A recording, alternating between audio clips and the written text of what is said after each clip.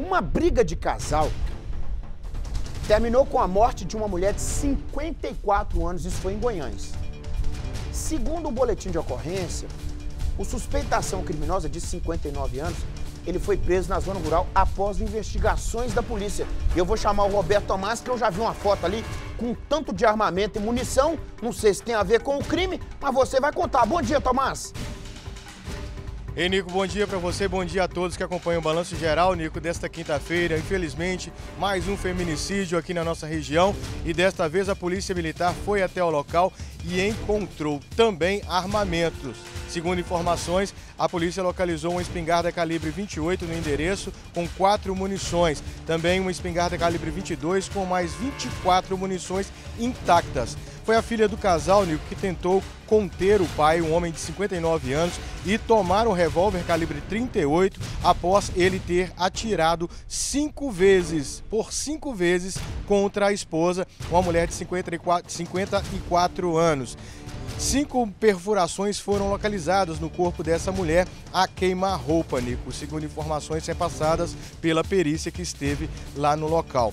Ele relatou que era pelo seguinte fato: a mulher discordou, apenas discordou de uma conversa que os dois tiveram. Isso ele falando com a filha dele, ela tentando o segurar e ele disse para ela, olhando bem nos olhos: se você não me soltar, você vai ser a próxima.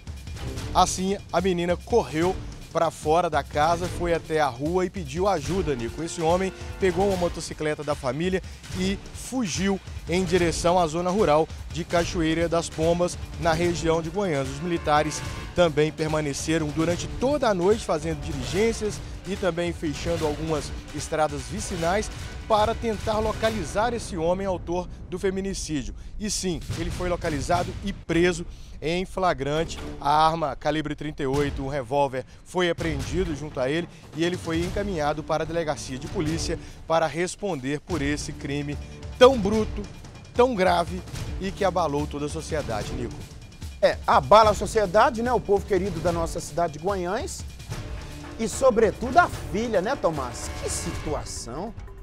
A filha entrar para separar uma confusão de casal já é uma coisa pesada, né? Aí uma confusão que termina com disparo de arma de fogo? Aí no, no, decorrer da investigação, a polícia vai lá conferir e acha o tanto de armamento que o Jarão mostrou pra gente na imagem ali, né? Quer dizer, se a arma tiver irregular e a munição tem que ser arrecadada, né? Agora, a pessoa usar arma de fogo para tentar e matar por causa de uma briga de casal, já pensou, gente? E a filha ter que segurar o pai para tomar o revólver da mão dele. Ah, é uma cena, é uma cena cruel, cruel. Obrigado.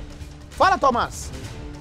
Nico, essa situação, né, presenciada pela, pela menina e, logicamente, que estava dentro de casa, ela também vai servir como testemunha para os fatos e aí, então, a Polícia Civil fechar esse inquérito, Nico.